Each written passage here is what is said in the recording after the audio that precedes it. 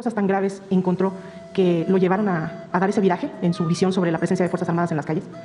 Bueno, ya en el libro que escribí antes de eh, llegar al gobierno, ya hablaba yo de la posibilidad de que el ejército ayudara en tareas de seguridad pública.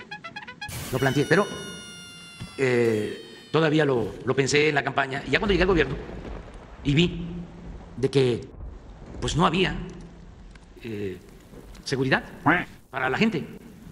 El pueblo de México estaba en estado de indefensión.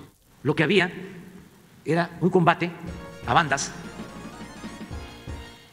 de narcotráfico de manera selectiva.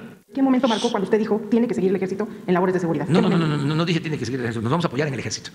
¿Cuál, cuál fue el momento, presidente? Ah, pues cuando tenía que enfrentar el problema de la inseguridad y vi la gravedad de que no se tenía con quién. Y lo que se estaba requiriendo, se necesita, es la seguridad de nuestro pueblo. ¿No había una institución civil que pudiera con el reto? No, al contrario.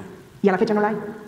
Es que puede haber transitoriamente, pero lo que hay que buscar es una solución de fondo, estructural. Entonces no quiero que un señor Itingo, de estos ¿no? neofifís, se ha avanzado muchísimo en hacer una conciencia de respeto a los derechos humanos, cosa que no se daba con las policías. Tenemos que resolver esto eh, dejando una institución sólida.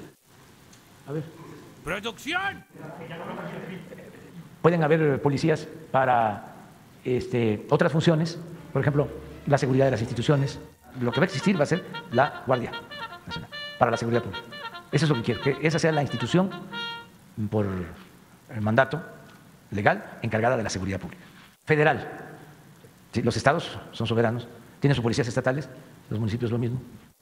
Se sumarán el ejército y la marina al esfuerzo de garantizar la seguridad pública. Sin embargo, en las circunstancias actuales, es indispensable que este propósito de la defensa nacional, que a este propósito de la defensa nacional se agregue el de la seguridad pública. Fíjense lo que estoy diciendo. Este libro lo escribí en el 16